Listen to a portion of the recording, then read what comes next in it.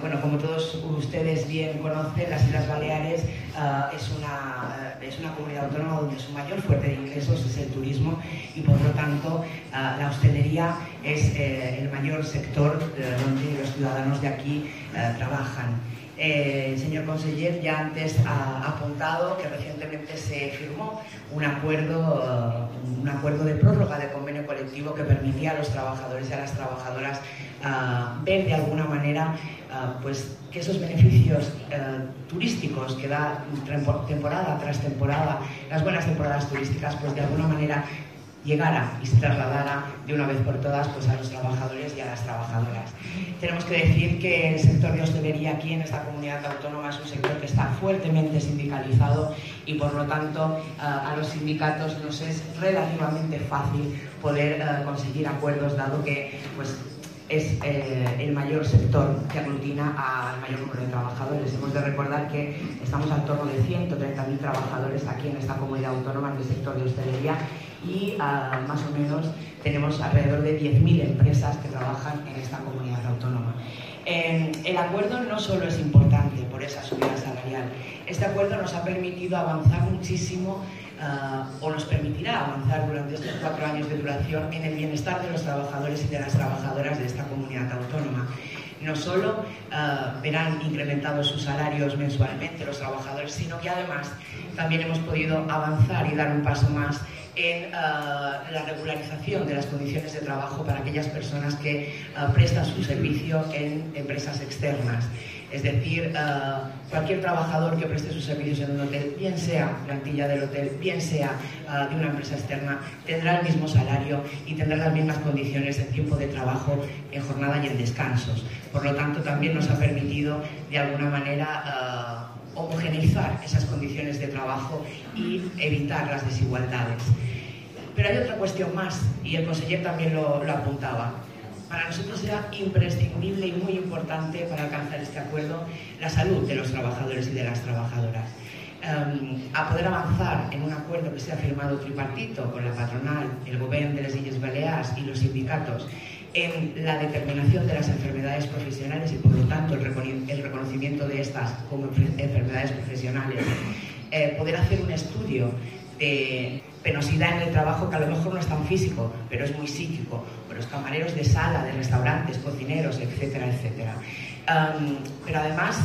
hay un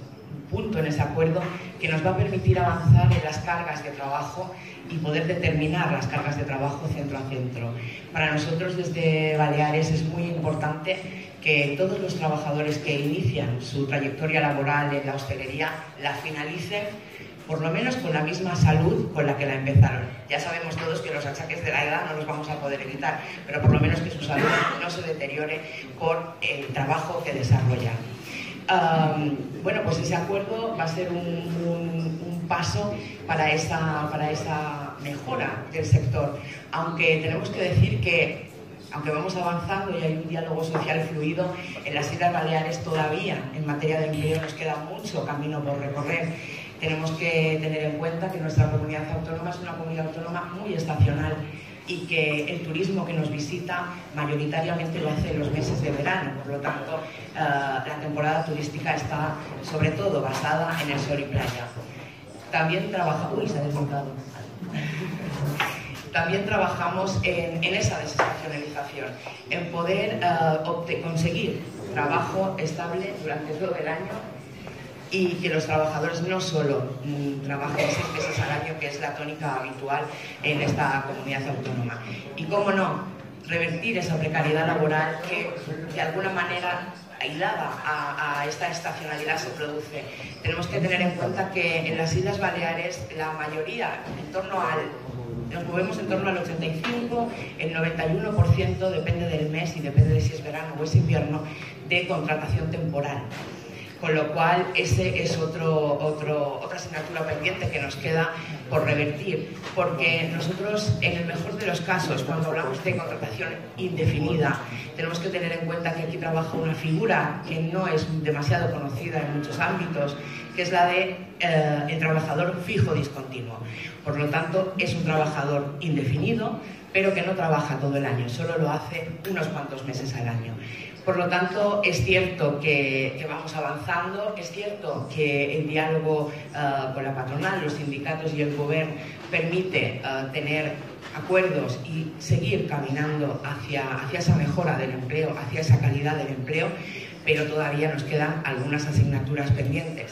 Por lo tanto, nosotros como organización sindical uh, continuaremos trabajando para, para poder mejorar eh, estas pequeñas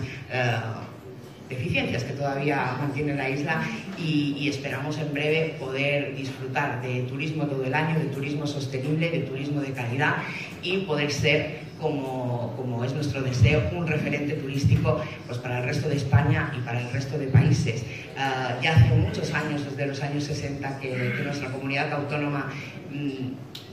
vive o su mayor fuente de ingresos es el turismo, también tenemos que abordar otro factor muy importante, muy importante que es la cualificación del sector.